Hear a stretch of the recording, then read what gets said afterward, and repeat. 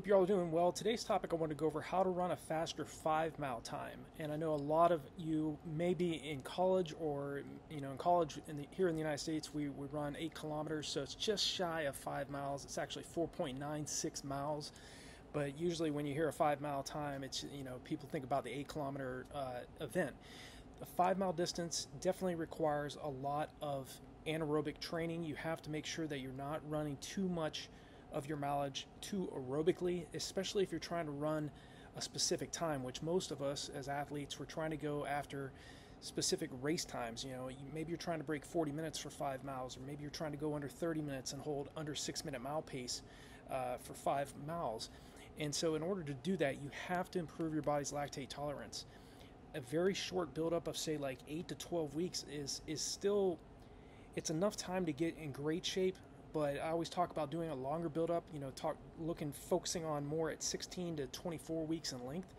And you know, in college, uh, athletes are, are training different races throughout the year uh, for cross country. So they're training either what either the 5K, 10 kilometer event or the 8K uh, event. But a lot of athletes. Um, that aren't in college still want to go out and run a fast 8K race or maybe a five a five mile race if the race is a little bit further.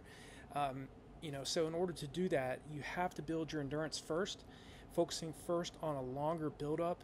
You know, and I definitely advise focusing on at least four weeks of easy aerobic mileage first. You're laying that foundation of, um, you know, building your your endurance, but also making sure that your your muscles, tendons, and ligaments are strong and well prepared to start handling those faster anaerobic training workouts. You know, repeat miles, repeat thousands on the track, um, doing longer tempo runs. You know, for an athlete that's training for the five mile distance, you know, I would work to a point where you can get that tempo run out to around uh, seven to nine miles in length.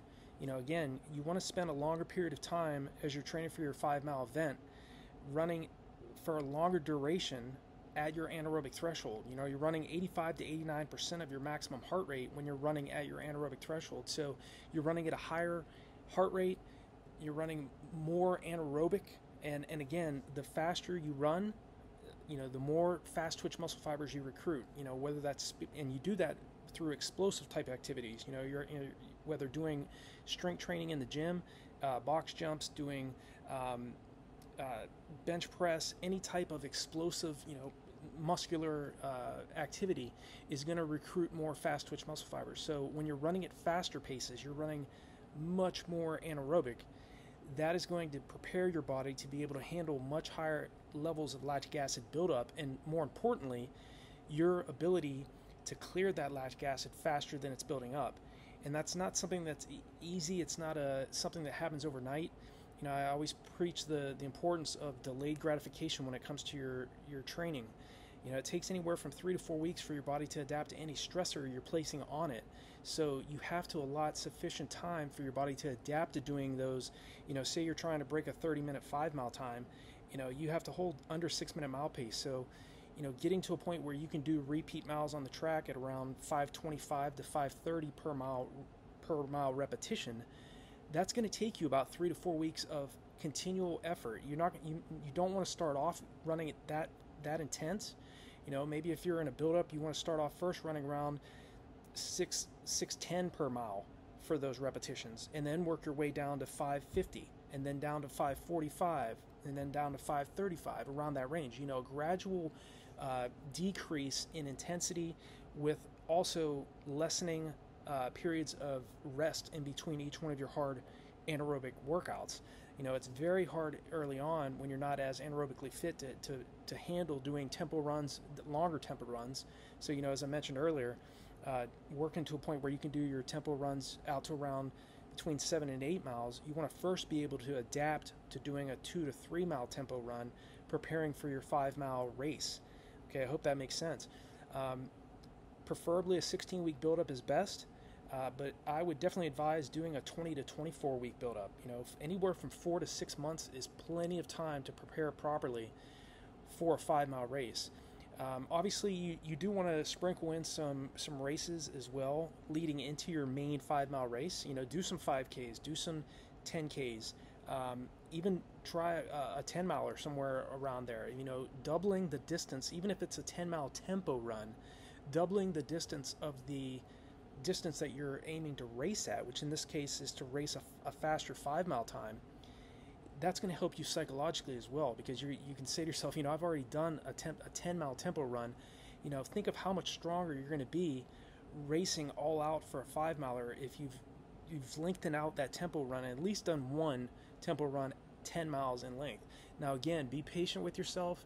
It's going to be hard to do a two to three mile tempo run early on when you're not very fit. So don't get bent out of shape. I've been there too. I understand 100% when you're you're you want to be in great racing shape. You want to hit the splits that you're going for, but you just can't get your legs to turn over and you can't clear that lactic acid as effect, as effectively as you will be able to down the road in you know several weeks down down the line when you when you again you've you've built up a strong foundation of aerobic mileage but that you've also uh, set up your training adequately where you've focused on first on aerobic build, base building mileage and then you've started working on your your race specific training. You're training at or close to your five mile goal race pace. Then you've moved into your speed development phase where you're really working on running closer down toward your mile to 3k race pace. Doing that and then obviously going into your taper phase and and allowing your body time to recover from the hard training you're doing you know, I think the taper phase is really the most difficult part of training for a, um, uh, how, on how to run a faster five mile time. It's because you're so used to doing that that training, doing the the speed workouts, the tempo runs, hill repetitions, um, long runs that you're doing on a consistent basis every single week. Uh, it's that point where you start dropping your intensity and volume 10 days out from your main race that uh, for a lot of times at least for me personally is extremely difficult because you think that because you're not running as much mileage, you're getting out of shape. And really, it's it's you're you're in superior shape. It's just allowing your, yourself time to back off the mileage, back off the intensity, especially 10 days out from the race. Don't start dropping volume and intensity until you get 10 days out from your main five mile race. In my opinion, you'll go into that race feeling much more fresh, much more energized, much more motivated than if you do, uh, say, a three to four week taper where you start dropping volume and, and you start allowing your, yourself time to, to rest and relax three to four weeks out from a big race. Okay, if you're doing a, a, a, long run, I would I would your longest long run, I would focus on doing that longest long run between two to three weeks out from your main five mile race. Okay, also I would do a um, a five or three mile or a five kilometer run at goal five mile race pace four days out from that race. Okay, so it's just something else to keep in keep in mind. Now I have training plans. I have running courses on RunDreamAchieve.com, so definitely check those out. Obviously, I do coach athletes month to month as well, if that's something that you're interested in. Um, but the way I set up my training plans and running courses, I do emphasize that 10-day taper. I focus on aerobic base first, race specific training second. Then we move into speed development training where you're really running much, much faster than you're planning on racing the, at your five, five mile event. Again, we want to improve the body's lactate tolerance eh, so that you can sustain that goal five mile race pace longer and to be able to react to the surges in the race that your competition is throwing at you. That is absolutely key. And we also focus on recovery. The real benefits of your hard training is going to come from within the rest period. So make sure that you're jogging on easy days. Don't get so caught up with what pace you're running per mile or per kilometer on those easy days. What counts the most is those hard anaerobic workouts, the tempo runs, the speed training workouts you're doing. Uh, one VO2 max workout per week, one tempo run per week, one long run per week. Okay, it, it's very important that you focus on ensuring that you're not running so fast on your easy days that you're not adapting to those types of hard workouts. Again, training smarter rather than harder is the end goal. So I hope this video makes sense for you. Uh, if you're training for the five mile distance, feel free to leave me a comment below this video or any of my uh, videos that I make. Uh, I will definitely reach back out to you and definitely check out the resources below all of my videos. Uh, I think there's some a lot of information there uh, that can really help you take your racing and, and training to the next level. So I wish you all the best and I'll talk to you all in the next video.